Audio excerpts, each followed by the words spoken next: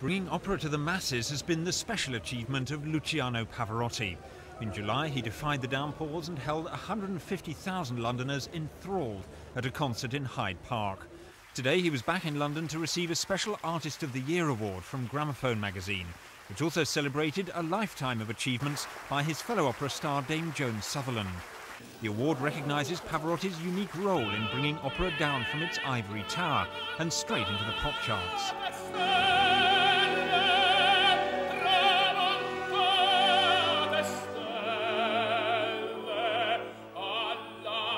The maestro's delighted to be associated with the theme song of last year's World Cup.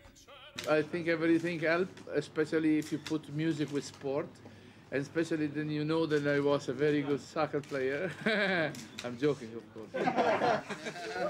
On a more serious note, he explained why being made Artist of the Year meant so much to him. It came in a, in a, moment, in a beautiful moment of my life after this concert in the park. And it's coming from the hand of John. And so it cannot be better. The judges were keen to reward a man who's done so much to raise the profile of opera. Um, because what he has done for classical music in communicating it to a broader audience in the last two years has been quite extraordinary. And what's more, it's been done without sacrificing any of what one might term artistic integrity, and I think that is a fantastic achievement. Meanwhile, Pavarotti said that London is always close to his heart, even if there's one big drawback.